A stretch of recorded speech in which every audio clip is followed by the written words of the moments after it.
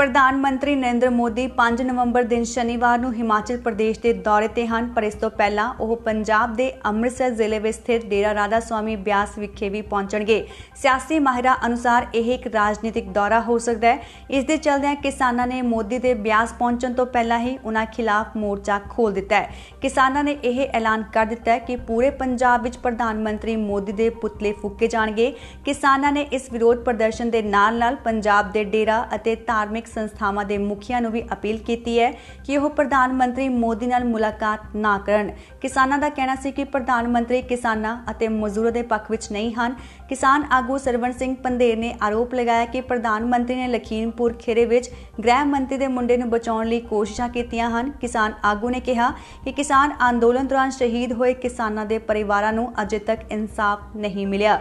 ਉਹਨਾਂ ਕਿਹਾ ਕਿ ਜੋ ਵੀ ਵਾਅਦੇ ਪ੍ਰਧਾਨ ਮੰਤਰੀ ਨੇ ਕੀਤੇ ਸਨ, ਉਹ ਅਜੇ ਤੱਕ ਪੂਰੇ ਨਹੀਂ ਹੋਏ ਹਨ। ਕਿਸਾਨ ਆਗੂ ਨੇ ਕਿਹਾ ਕਿ ਜਦੋਂ ਵੀ ਪ੍ਰਧਾਨ ਮੰਤਰੀ ਨਰਿੰਦਰ ਮੋਦੀ ਪੰਜਾਬ ਆਉਣਗੇ, ਉਹਨਾਂ ਦਾ ਵਿਰੋਧ ਕੀਤਾ ਜਾਵੇਗਾ Please subscribe Pravasi TV and press the bell icon.